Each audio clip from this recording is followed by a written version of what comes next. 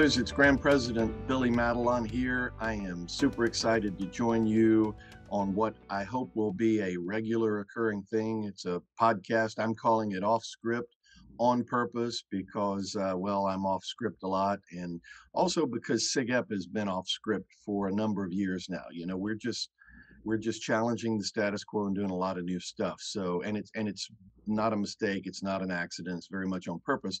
So, I just thought uh, this would be an opportunity for me to come to you on a regular basis and talk a little bit about what's going on in SIGEP land, what's going on in the fraternity behind the scenes, uh, where we're headed, uh, where we are now, where we're headed later, etc and uh, you could hear it directly from me. So I'm excited to be doing that.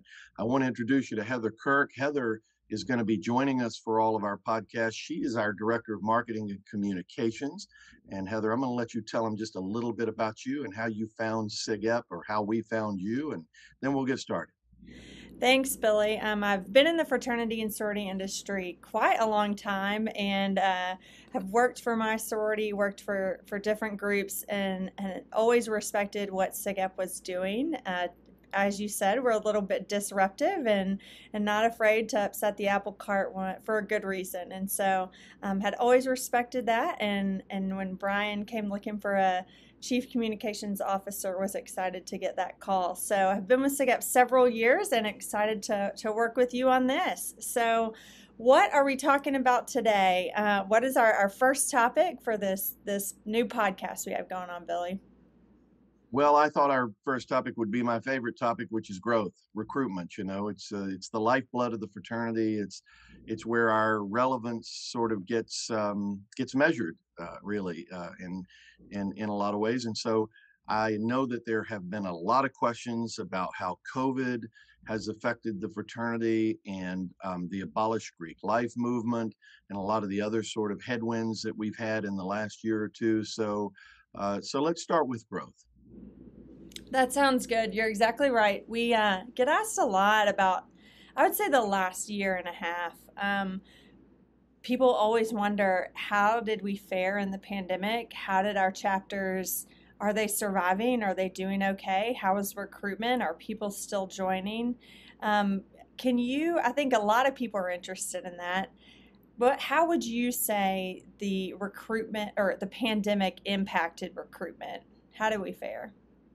Well, I mean, it, it affected recruitment in every single way. I mean, you know, a lot of colleges and universities were closed, um, and and the ones that weren't had certainly curtailed any kind of recruitment efforts, for, formal recruitment effort, efforts, or other kinds of things. And so, uh, it was a it was a, a, a real shit show. Pardon my French. I mean, it was a it was a mess. But here's an interesting fact: about half of all of our chapters recruited more members than they had in the past wow. during COVID. So I don't know how to make sense of that, um, except that uh, obviously they were having to use a lot of sort of what in SIGEP land is not novel, but in the fraternity world is novel. Things like the Balance Man Scholarship, things like uh, year-round recruitment. You know, sort of getting uh, out of that that always joiners group that comes and and and getting uh, creative in how they do it. So again, about half recruited more.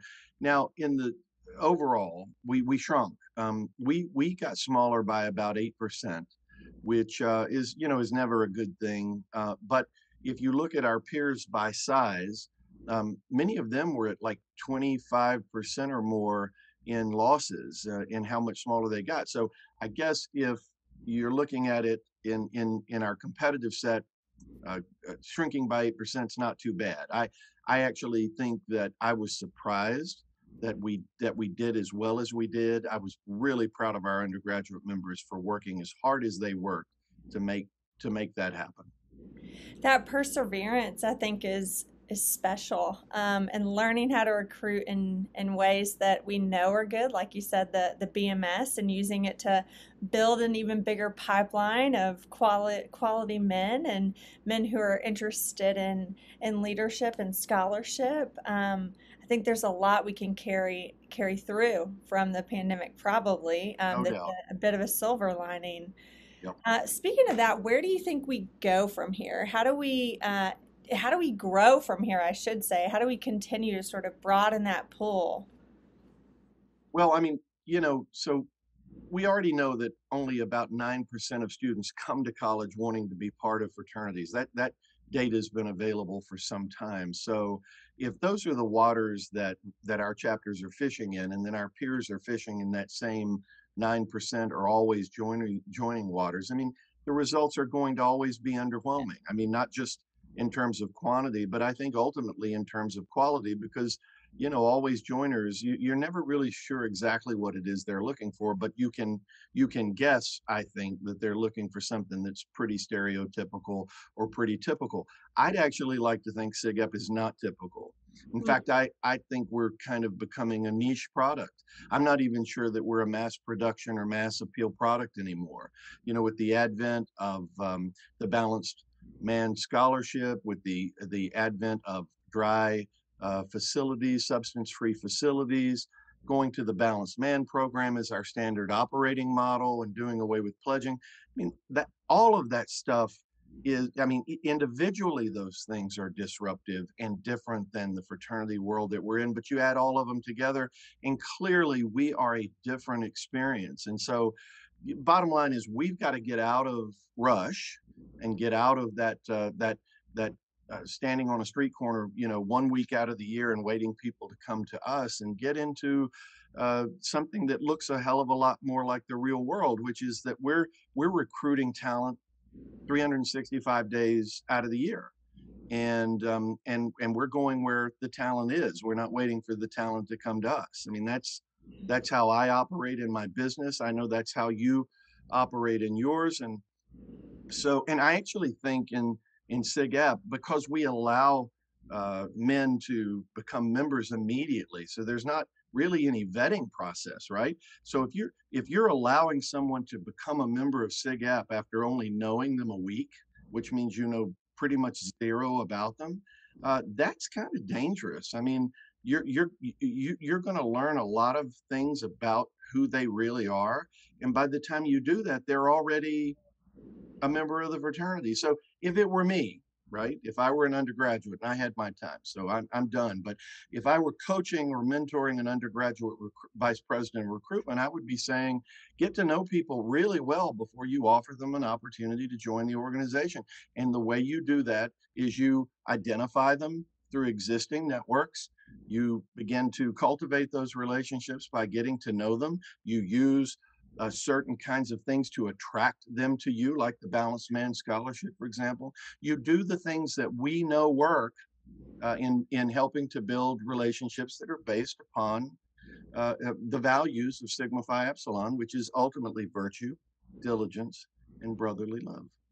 Yeah, and you don't only wait for the people who are going to show up on your doorstep and, and rush. I think we do. You mentioned the always joiner piece. Um, that's something that I think fascinates me about our brotherhood assessment survey. We look at why people join, what their motivation for becoming a fraternity man, specifically a, a SIGEP, is.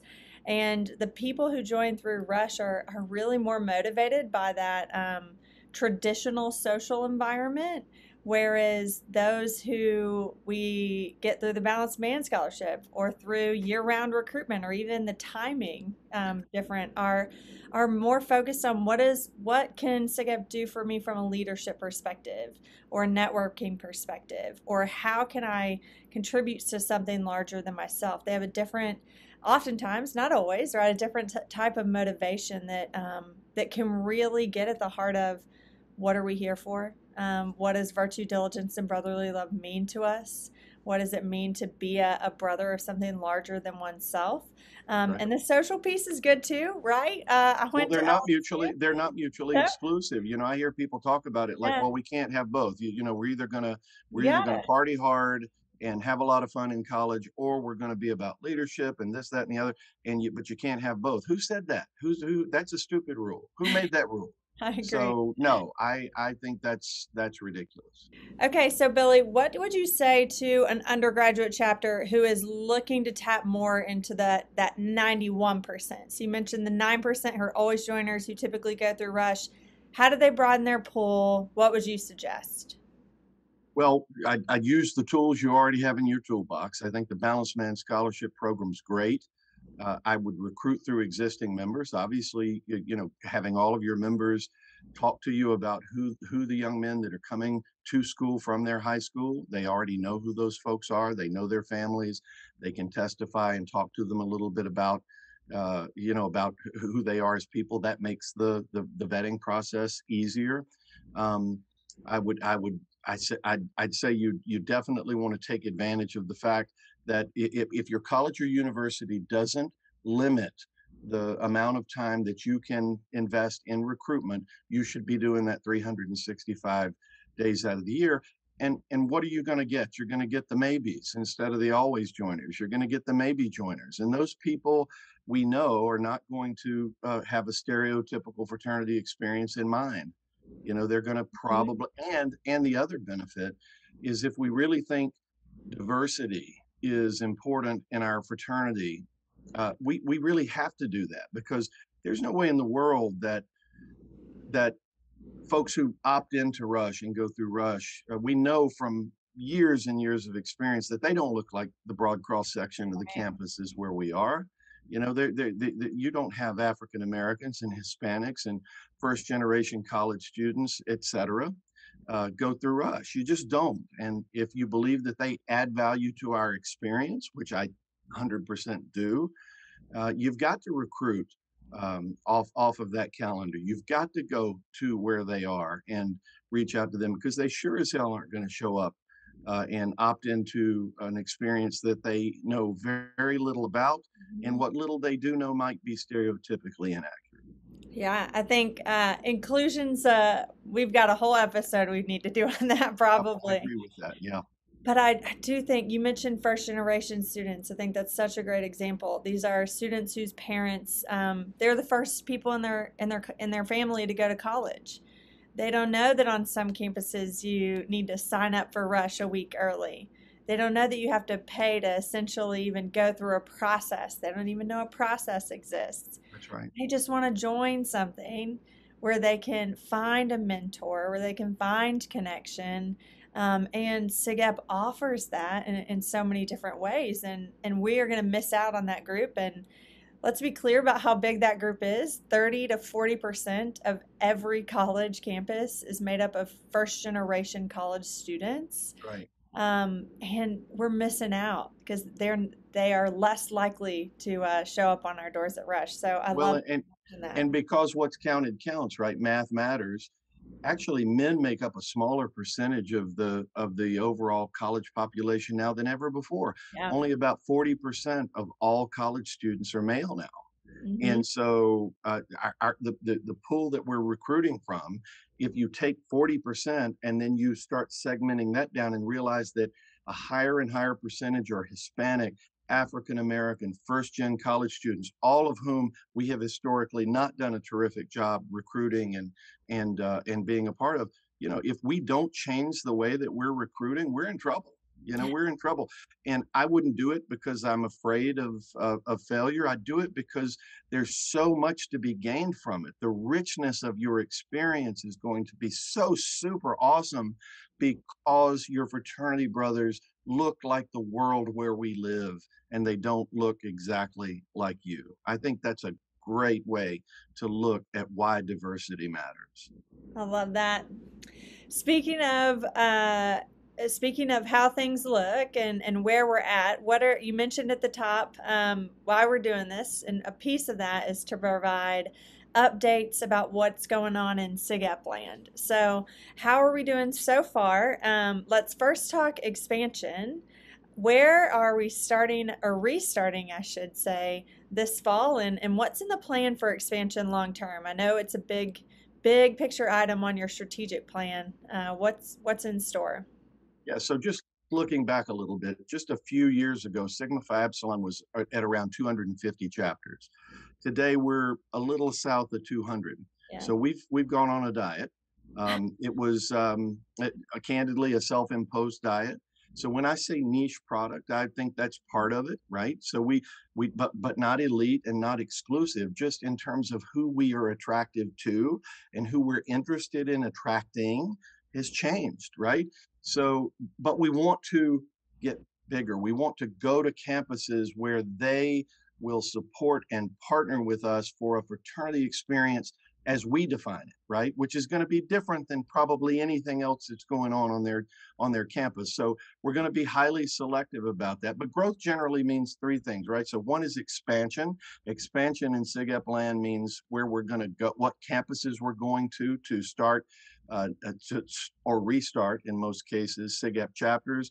The other one is in recruiting more of the very best men on the campuses where we are. So that would be same store sales, if you will, in business parlance. And then the third is retention. Mm-hmm. Retention is a growth strategy, right? Making sure that yeah. we don't have a, a back door where all our juniors and seniors are walking out because the fraternity experience isn't relevant to them at that point in their life. So uh, I, the Balanced Man program is done a whole lot about helping us with retention, of course, the Balanced Men Scholarship and 365 are really helping us with same store sales, getting more of the best men on our campuses. And then, of course, there's the issue of expansion. Expansion, going to new universities. So this year, this academic year, we're going to be going to a number of new campuses. We're going to uh, start out by going to Case Western in Ohio, uh, Cal Poly, um, uh, San Luis Obispo, uh, San Diego State University, and then we're going to go to Dartmouth and Rutgers. So these are terrific campuses. They're campuses that want us there. They're excited about us coming there. They believe their campus needs us and they're places where we want to be. So we're super excited to be going back to those places. And then looking forward, we're we're we're really going to be on an, on a sort of a, a, a pretty consistent expansion growth uh, pattern where we're probably going to be growing by four or five chapters uh, at least every single year for the foreseeable future. And our expectation is that we won't have to be closing as many chapters because the chapters that we now have are far more values aligned than they've ever been before. Yeah, that intentional diet you're talking about. That's right. Sure that we're all on the same page. That's right.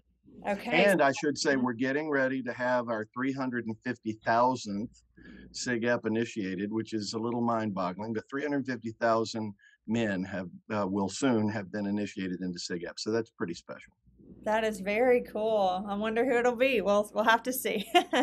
well, we will have to see, but you know, our camp, our chapters are about 25% year over year. So we're we're 25% ahead of mm-hmm. last year. More importantly, Heather, we're we're even ahead of 2019. So if you want to get excited about growth, our chapters are are actually recruiting better than they were pre-COVID. So I think it's fair to say what we're doing is starting to work.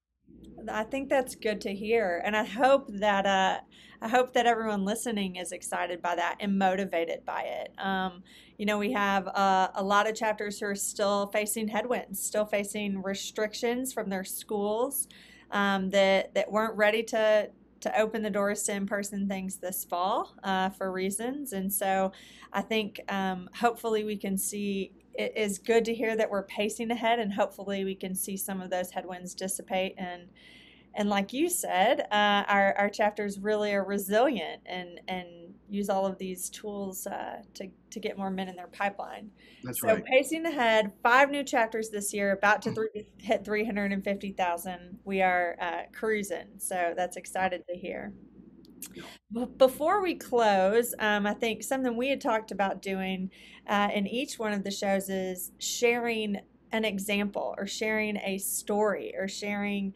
um, you know, good feels and good vibes about of what's going on uh, in SIGEP land and, and a big win for people to learn from and, and get excited about. Do we have one of those on the growth front today? Well, we've got lots. You know, SIG, SIGEP is uh, an organization where there's always some really great stuff going on. I call it a damn proud moment, you know, and I, am damn proud to be a SIGEP all the time. But there's sometimes things happen, and I just say, that really makes me proud. So today I'd like to share with you a little story about uh, a, a, chapter, uh, Cal Theta at Sacramento State. You know, back in the fall of 2019, uh, our chapter was uh, had had one member, okay, and um, uh, we we were uh, obviously struggling, and the chapter worked really really hard and really really hard and really really hard, and then by uh, the spring of 2020, they had four whole members, so they were not exactly killing it, right?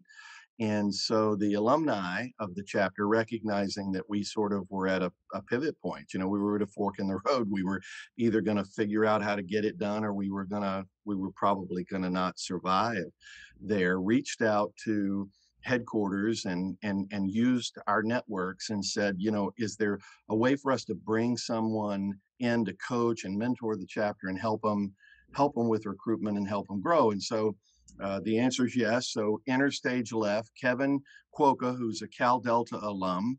Uh, Kevin is a past staffer and he's a director of talent acquisition for a, a successful, successful software company in California. So anyway, Kevin gets involved and he works really helpful. He works really hard with them, gets them excited about it, and they're up there from four to eight members in basically uh, the first week. So obviously something was happening, right? Uh, and then by the end of the spring, uh, which is when, for you know, thinking back, COVID set in.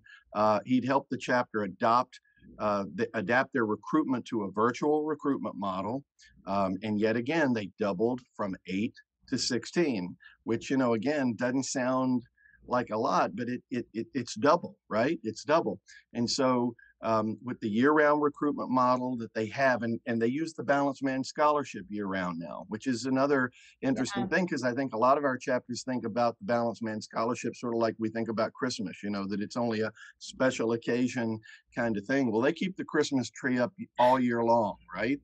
The balance Man Scholarship is something that they use on a consistent basis. So, um, their, their, their, vice president of recruitment, Mateo, uh, and their BMS chair and their recruitment committee, they're all working together, working really hard, doing year-round recruitment.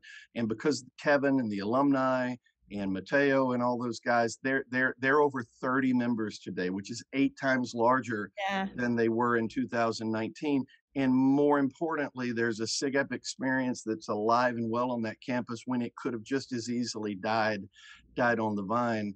So a special shout out to um, to uh, the the our original one SIGEP, uh, who, who's Dinero Gomez, uh, who had the perseverance uh, and the fortitude, you know, to stick it out uh, in the early days when it was looking kind of dark.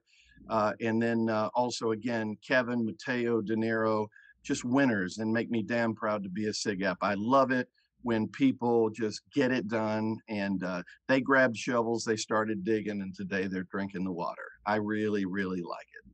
That is awesome. And I actually just heard this week, I think Dinero is even running for IFC office. So awesome. Hopefully we'll lead from the front in that community. So that well, if they're looking cool. for somebody that produces results, I would say Dinero might just be a guy they wanna they wanna figure out how to get on board. Oh, good to hear. Well, I think we are good on growth. Any final thoughts for our undergraduates or volunteers out there? Well, I'd say, listen, COVID is uh, clearing, uh, and we, we got better. We got smarter, we survived, and we got stronger. And I think on the other side of uh, COVID, brothers, we we are at the precipice of some really special stuff you're part of a, of a fraternity movement called Sigma Phi Epsilon at a very interesting time. And I think the next few years for SIGEP are going to be dynamic and they're going to be full of growth. But we're also going to be going to some places, uh, sort of like Captain Kirk, where no man has gone before. No fraternity man has gone before. So I'm really excited to be able to be a part of that and help lead that as your grand president for the next few years. And I look forward to the opportunity to coming uh, before you a couple times a month and, and doing this again. And let's let's talk about SIGEP land and uh, let's get off script on purpose.